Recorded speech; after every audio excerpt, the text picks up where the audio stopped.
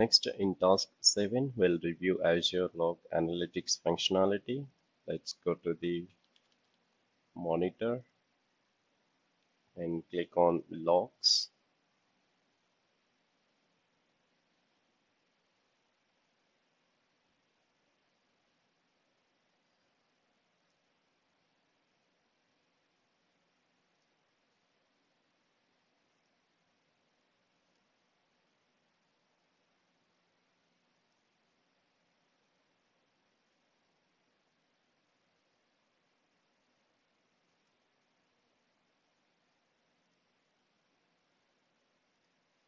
To monitor under monitor blade so click on logs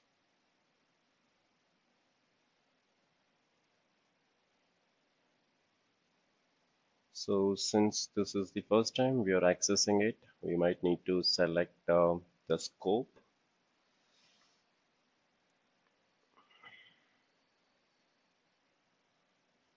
So I'm just going to select uh, VM0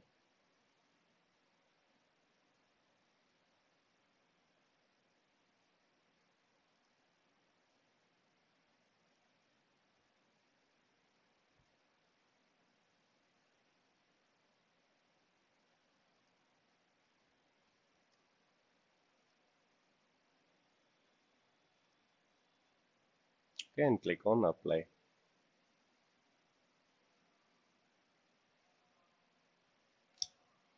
So in this query window I'm going to paste the following command.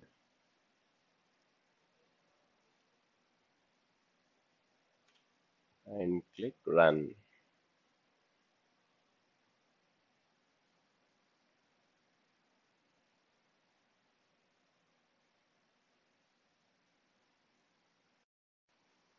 So click on the queries in the toolbar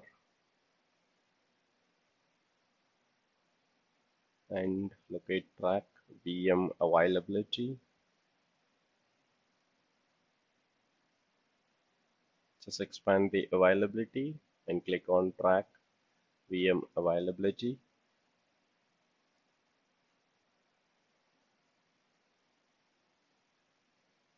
And now let's run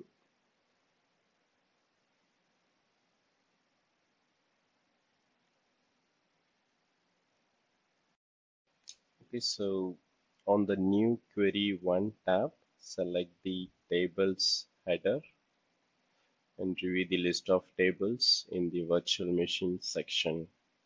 So these are the tables heartbeat insight metrics VM connection VM process. So just hover the mouse to the VM computer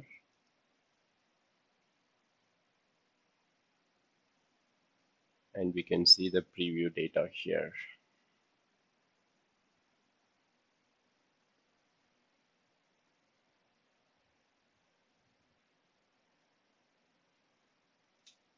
Okay, so if any data available in the in this update pan, we can use um, use an editor.